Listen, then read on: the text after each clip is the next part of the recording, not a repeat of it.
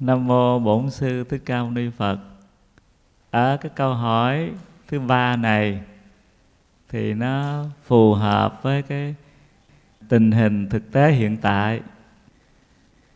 Thì à, Pháp Đăng nhớ lại cái thời gian Pháp Đăng xuất gia đi tu á, năm 94 tới nay thì khoảng cái thời gian năm 94 lúc đó chưa có cái mạng internet cho nên trong Phật pháp nó cũng ổn định lắm.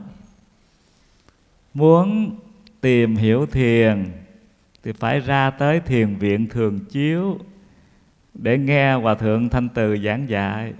Đó. Còn muốn tìm hiểu tịnh độ thì phải đến chùa vạn đức để nghe hòa thượng trí tịnh dạy. Đó. Mà do cái chỗ đó không có cái mạng internet như bây giờ. Cho nên, trong phật pháp, các pháp tu, rồi các bậc thầy dạy về các pháp tu, đâu đó nó rất là ổn. Mà các hòa thượng thì đặc biệt là rất là tôn kính phật và các chư tổ. Cái đặc biệt mà họ đang nhận ra được.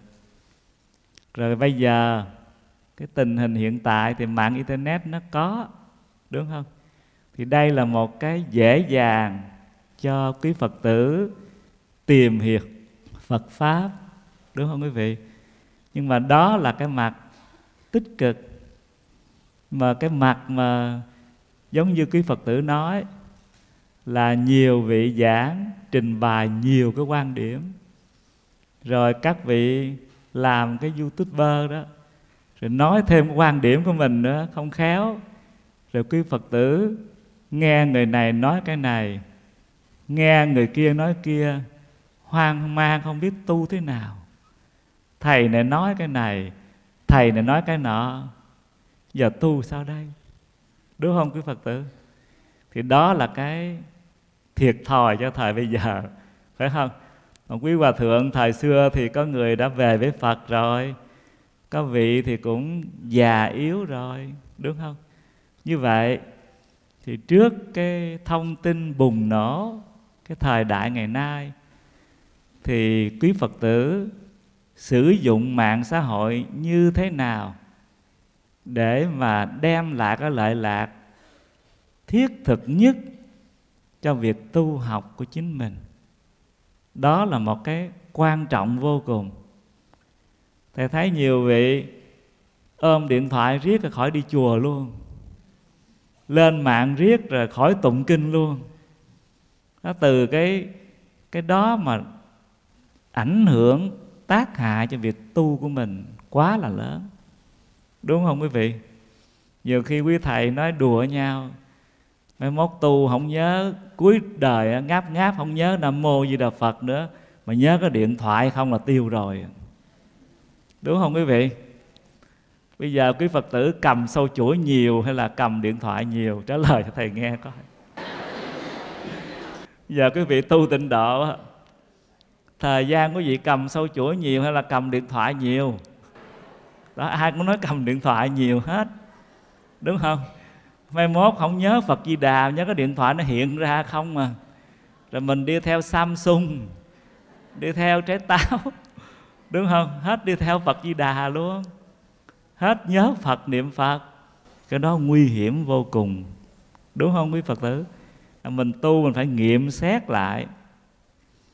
Nhiều khi chúng ta cầm điện thoại trên tay mà quý vị thấy mình bấm, mình lướt, mình xem cái gì đó, mấy tiếng đồng hồ cũng được. Đúng không quý vị? Nó lôi cuốn mình mãnh liệt như vậy.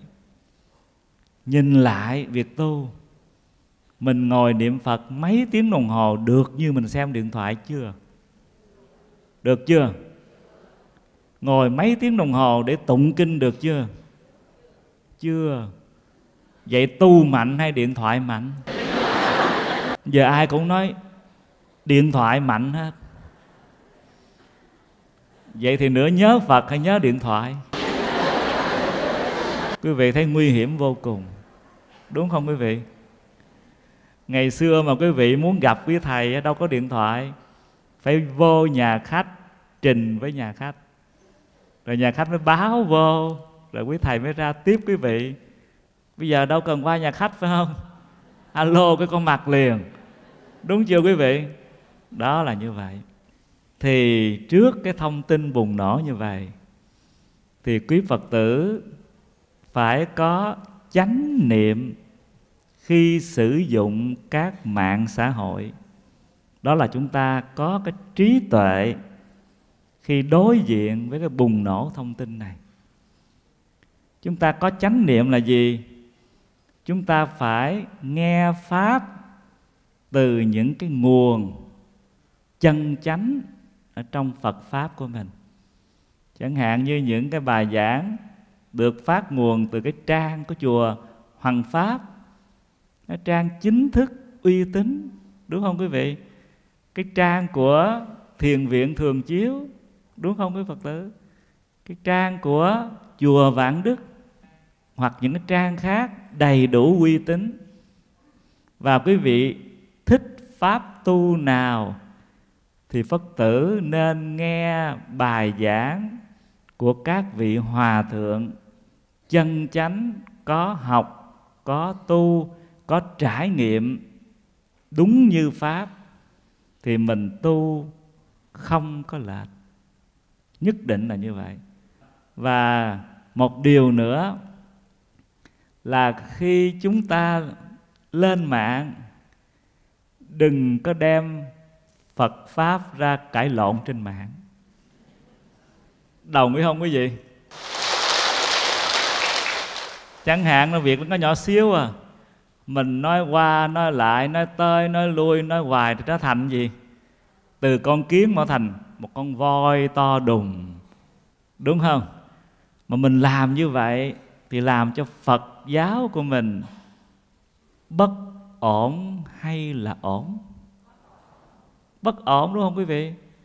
Mà làm như vậy ngôi nhà Phật giáo của mình đoàn kết hòa hợp hay là mất đoàn kết hòa hợp?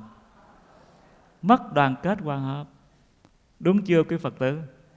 Cái chỗ này chúng ta phải cẩn trọng khi sử dụng các mạng xã hội. Nhất định là như vậy.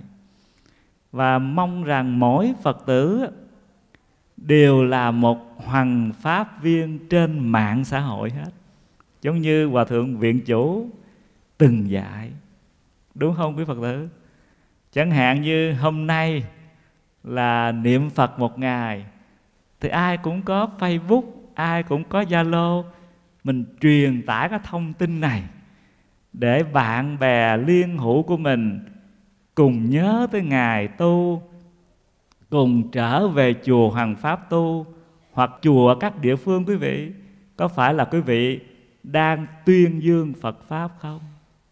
Phải không? Cái đó dễ hay khó? Cái đó quá dễ Đúng không?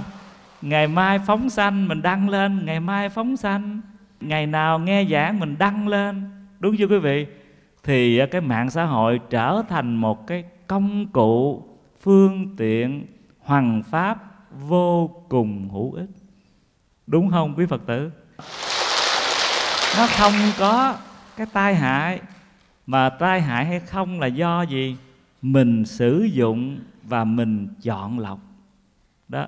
Mình chọn lọc những cái trang chính thống.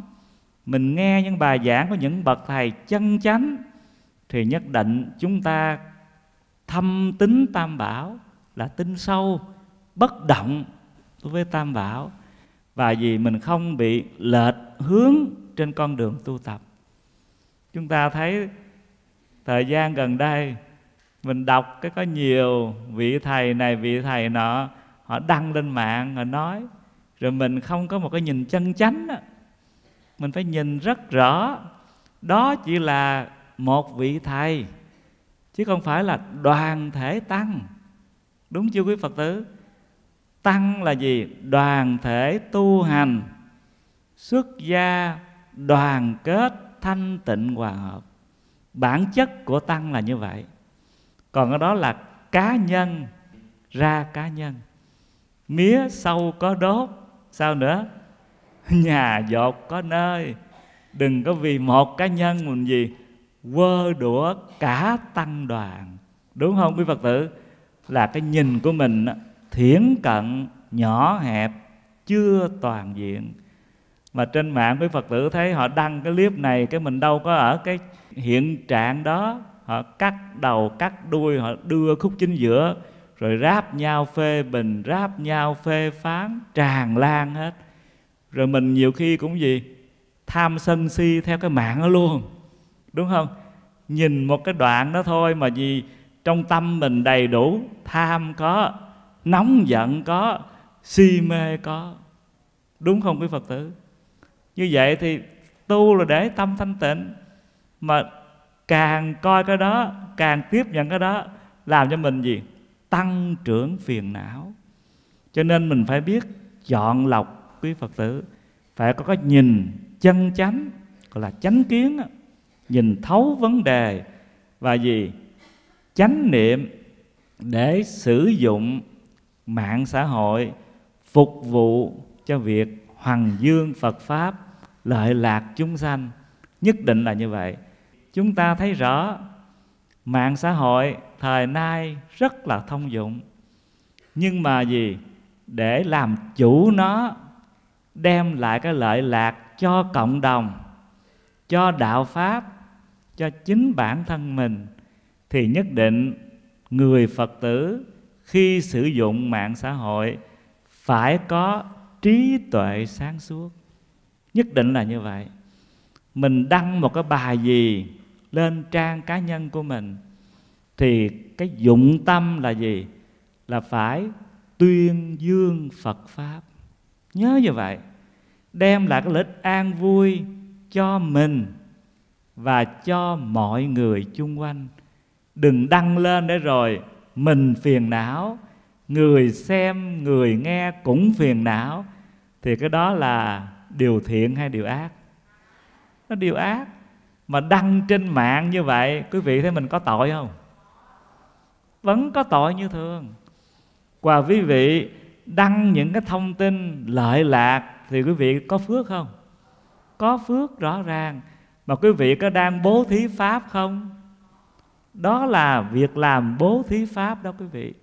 Đó, thì từ cái chỗ này, rất mong tất cả quý phật tử luôn luôn sử dụng mạng xã hội một cách thông minh nhất bằng cái trí tuệ của người con phật trong thời đại ngày nay. Nam mô bổn sư thích ca mâu ni phật.